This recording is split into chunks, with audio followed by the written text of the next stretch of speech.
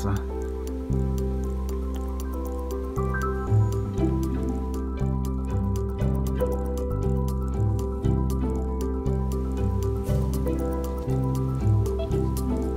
Riale, Alta Val